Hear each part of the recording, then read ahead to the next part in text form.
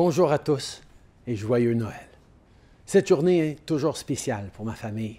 Habituellement, on se rassemble, on mange beaucoup trop, on rit, on partage des histoires, on regarde des films du temps des fêtes, on s'échange des cadeaux et surtout, on passe du bon temps ensemble.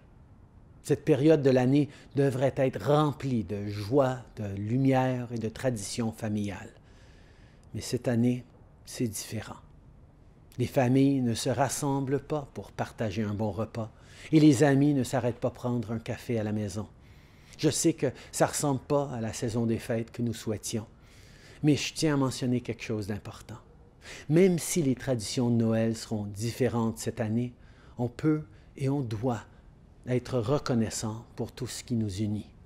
Aujourd'hui, c'est le bon moment pour reconnaître toutes les bonnes choses que nous avons dans notre vie.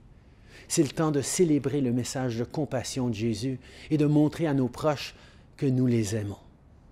Et ce message n'a jamais été aussi important que cette année. Nous pouvons tous nous entendre pour dire que 2020 a été une année difficile.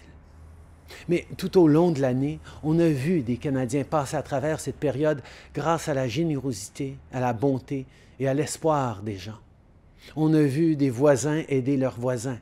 On a vu des enfants renoncer à voir leurs amis et à participer à des fêtes d'anniversaire. On a vu des entreprises adapter leurs installations pour lutter contre la COVID-19. Et on a vu nos travailleurs de première ligne se mettre en danger pour nous protéger et nourrir nos familles. Cette année, on a tous fait notre part, parce que c'est en nous. En tant que Canadiens, on se serre les coudes.